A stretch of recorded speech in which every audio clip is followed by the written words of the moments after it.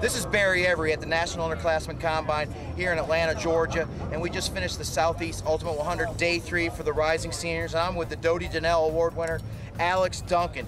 5'9 and a half, 174 pounds. This cornerback was phenomenal in the 7 on 7 and uh, had a great day in the one on ones and just uh, a very physical corner with good ball skills. Now, Alex, let me ask you this. What did you like about NUC?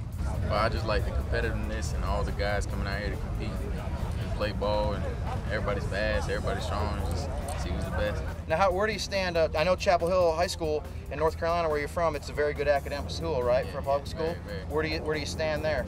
Well, I got a 3.05 at Chapel High School, but some people don't see that as a good GPA. But at, for that school, it's a, it's a good GPA. My um, SAT was a 1620. So What is it on the two parts? Uh, 1140. Well, that sounds like a pretty good uh, test score for me.